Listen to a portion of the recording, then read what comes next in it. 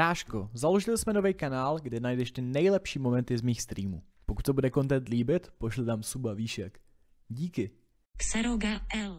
Ahoj, já jsem Xero, vítám vás u dalšího videa a v tomto videjku se podíváme na T54 a můj challenge, kde jsem jí hrál čistě s APčkama, žádná goldová munice.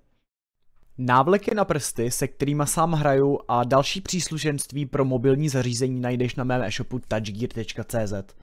Pokud mě navíc tady na kanále podporeš formou členství, můžeš využít speciální slevu.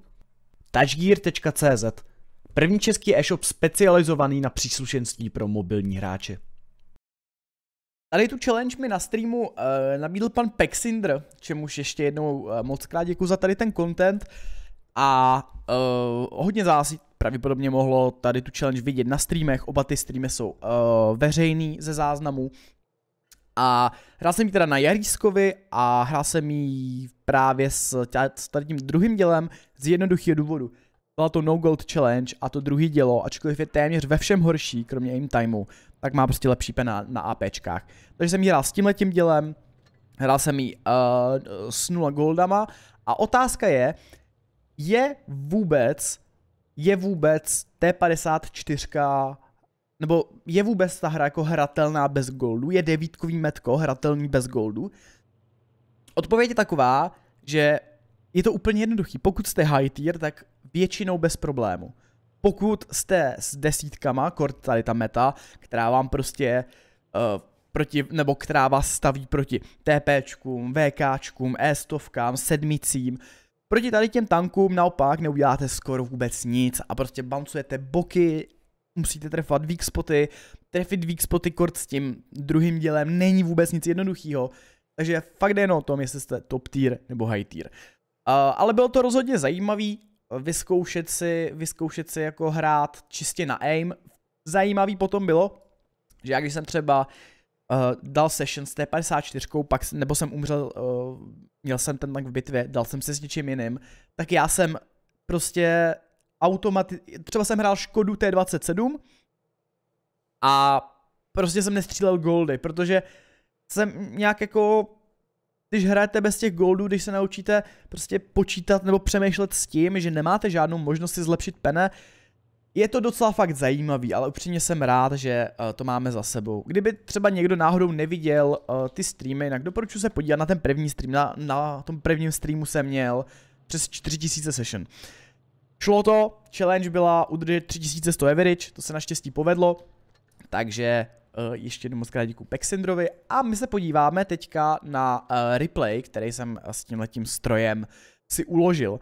Měl jsem ještě jeden hrozně moc zajímavý, hezký replay, který, byla to prohra, bylo to 6000 damage v desítkách a bylo, prohrál jsem to čistě jenom na tu pene. Jinak to mohlo být třeba 7,5 tisíce. Já jsem si tu bitvu zapomněl, zapomněl hodit do oblíbených. Jinak vy, co byli, eh, vy, co jste vy co jste koukali na ty streamy, byla to ta bitva na kanionu, jak jsem na konci prohrál proti tomu Kranovi nebo, nebo Emilovi. Uh, bohužel tady tu bitvu nemám, takže tu mám jenom jednu bitvu. Tahle ta bitva nebude za stolik zajímavá, ale pořád bude to si myslím docela pěkný gameplay s T54. Takže se na to teďka hnedka podíváme. Tohle to byl třeba naprosto snový matchmaking. Uh, tři devítky na každé straně, ačkoliv takovej, takovej pan Tortoise třeba je hodně jako ošklivý nepřítel, protože Tortoise po buffu toho armoru opravdu ty kopulky takřka nejdou probít, musíte si ten tank třeba treknout, nebo si ho obět, střílet do boku. Jo, E75 to stejný, E75 vana, horko těžko, musela bys nějak, musí, musíte být třeba pod, pod tou 7.5 trošku negovat ten úhel, anebo taky oběd, nebo zkoušet kopulku, ale to je prostě tady tím dělem takový, takový moc nic. Každopádně, uh, najel jsem si tady za řeku, úplně klasická pozice a uh, začínám tady královat. Tady ta pozice je pro mě velmi dobrá, já tu mám hull down, můžu tady uhlovat upper plate, vidíte, že pardon, mě už tady něco bouncuje, Bohužel uh, mě probil Borsik. Naštěstí měl 128 mm dělo, tady to bolelo jenom za nějakých 460 v průměru, co má to dělo, ne za těch 640. A uh, vidíte, že už tady mám 1000 nabouncováno. Prostě T54 postavená do hulldownu proti osmičkám. Jste ho, prostě tam ten armor je docela dost spolehlivý. Vidíte, že já se nehrnu nikam dopředu, teďka jsem možná to jako dělal i na streamu, něco jsem vám ukazoval, nebo něco takového. Že jsem tady chviličku avk. Čekám a uh, tým mi tady nic nespotla. V tuhle tu chvíli já jsem, já jsem se teda rozhodl, že to protáhnu trochu dopředu. A tady jste viděli, jak moc se ten Tortoise musel natočit bokem. Fakt skoro pravým úhlem, abych ho teprve byl schopný probít. Naštěstí pro mě to ten Tortoise takhle šíleně trounul a zahodil všechny HPčka. Spadl tam ještě do té vody a tady ho ten můj tým už uh, rozseká. Já jsem si tady pokusil toho, toho Borsiga, bohužel o jednu setinku mi ujel a já jsem nestil, na, nestil jsem nabít.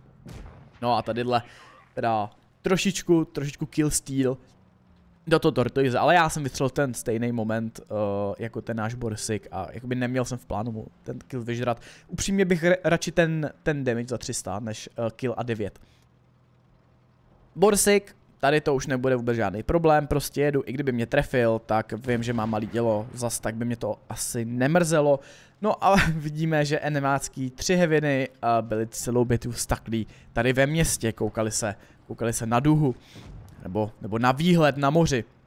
A tady, tady ta část s tou 5.4 bude docela hodně pěkná. O 54 nebo obecně o ruských mecích je známo, že vy jste hodně dobrý brawler tanci. Co znamená, že jste brawler tanci? Vy se prostě nalepíte na nějaký tank, na blízko, ideálně třeba bok na bok, strkáte mu věž do věže, dělo do děla, popojíždíte dopředu dozadu a tím, že jste nízký, máte dobrý turret armor, dobrý upper armor, tak vás hodně často prostě ty osmičky nemůžou probít a vy je, vy je zmlátíte. Tady přijíždím na to aliena, dávám mu ránu, on pravděpodobně nabíjí, dávám mu další detrek, ať se nemůže hejbat a uh, pořád se schovávám tady za ty kontejnery, abych nedostával zbytečný rány. Uh, Vykřičníčková rána do S75, vidíte, že jsem mířil hodně dozadu, abych mu poškodil palivovku, což se povedlo, bohužel nezačalo hořet, uh, ale vyplatí se zkoušet střílet takhle fakt tam, kde jsou ty, tam, kde jsou ty moduly. Uh, třeba kdyby ta S75 dostala dřív v té hře jednu ránu dozad, tak bych jí touhletou ránu zapálil, on by mohl dohřet. To, to jsou takové drobnosti, jenom detaily. Naučte se, kde mají uh, jednotlivý tanky uh, své moduly. Například je k tomu stránka tanks.gg nebo nějaký takovýhle. Nebo prostě napište what tank modules a něco vám, něco vám na Google vyleze. Uh, tady to už bude jenom prostě čistící práce a krásná brawling paráda. Ten tygr mi dává ránu, ale to mi vůbec nevadí. Já teďka toho tygra využiju jako schovku před tou IS-3, aby na mě neměla, uh, aby na mě neměla uh, čistou ránu. Teďka mi už to bylo v podstatě úplně jedno, jestli dostanu ránu. Uh, ta trojka mě bouncuje, protože prostě 54 má krásný armor. Ten tygr se tady motá jak vítr v bedně, dopínám svůj čtvrtý kill a tadyhle ta IS-3 uh, to nebude mít na brawling vůbec dobrý. Dávám první ránu na motor, zapaluju a prostě co, co on, co klučá teďka udělá. Dávám druhou ránu, zapaluju. Uh, on dohořel. Takže byly tady dva zápaly na konci do té trojky a docela jako pěkný takový pohřebiště. Přišla mi ta bitva taková jako, taková fajn, prostě pěkná bitvička s t 4 Ještě jednou se moc omlouvám, jinak tady vidíte to dělo. Uh, to, co jsem vám ukazoval, to lepší dílo má jinou ústěvou brzdu, respektive nemá ústěvou brzdu. A tohle to dělo s tou lepší pen na péčku. Ještě jednou se omlouvám za tam tu bitvu, o který jsem mluvil, tu bych vám hrozně rád ukázal, ale pokud ji, pokud ji chcete vidět, tak se stačí podívat na jeden z těch dvou záznamů streamu. Je to normálně No Gold Challenge z T54 part 1, part 2, dva streamy. Tam ta bitva bude, stačí se najít bitvu na kanionu. A bylo to MKO, válečník High Caliber, Redley Walters, uh, skoro 2000 nabouncovaný, skoro 5300 nastříleno a myslím si, že docela pěkná bitvička, ačkoliv nebylo zapotřebí ani jedinýho goldu. Takže tak, Uh, já doufám, že se vám tady ta bitva líbila, doufám, že vás bavila tady ta challenge, když jsme ji hráli na streamu a kdybyste i vy měli nějakou zajímavou challenge pro mě na stream, uh, tak klidně napište do komentářů. Nezapomeňte, že ale ta challenge musí být nějaký, jakoby, musí být něčím motivovaná. Jo? za challenge se musí něco vyhrát, tak jenom na to myslete a taky prosím myslete na to, že teďka až do až do vlastně konce května budu zaneprázdněný rankedama, protože je dvouměsíční season a já se chci dostat co nejblíž uh, Lordce Fearless, ať už zase nemusím řešit rankedy, než přijde další Fearless, Fearless tank. Takže pokud vás nějaký challenge napadnou, tak jejich provedení bude možná až třeba spíš někdy v tom květnu, červnu. Takže tak, díky za pochopení.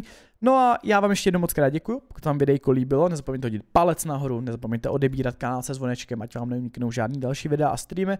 No a my se vidíme u nějakého dalšího právě videjka nebo streamu. Mějte se moc pěkně a zatím ahoj.